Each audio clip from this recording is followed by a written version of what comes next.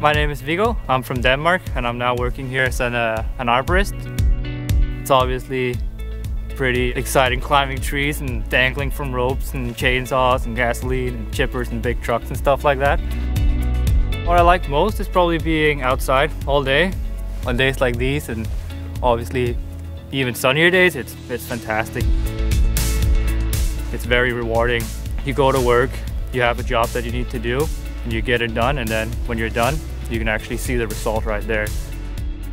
Every day is different, and look at every tree as a new puzzle you have to solve, which is also really nice. And one thing I always like thinking about when I'm climbing trees, you'll get a view of an area that no person will ever have. Like you're the only person who will ever see things from this perspective. And I think that's pretty cool to think about.